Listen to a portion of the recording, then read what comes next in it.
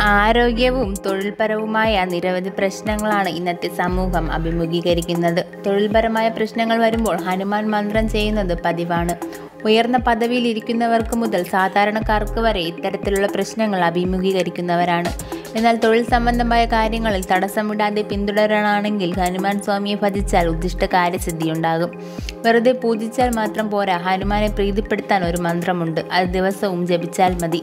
ഓം ശ്രീ വജ്രദേഹായ രാമഭക്തായ വായുപുത്രായ നമോസ്തുതേ എന്ന മന്ത്രം പതിവായി നിശ്ചിത ഉരു ജപിക്കുന്നത് ഉത്തമം. ശുദ്ധിയോടെ നിർമ്മലമായ ഹൃദയത്തോടെ ജപിച്ചാൽ ഫലം സുനിശ്ചിതമാണ്.